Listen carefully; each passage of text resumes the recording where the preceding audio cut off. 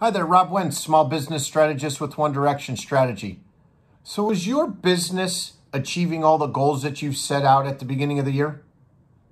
If not, one thing to look at is do you have goals for each department?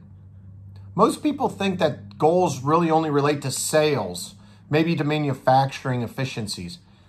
The fact is, everybody in your business should have goals.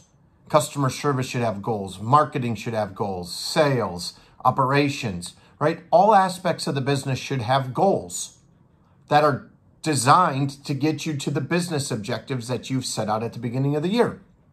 Once this is established, there should also be regular meetings that each group is part of to, to design the right strategies and actions to achieve those goals and to overcome any obstacles or hurdles that are in the way.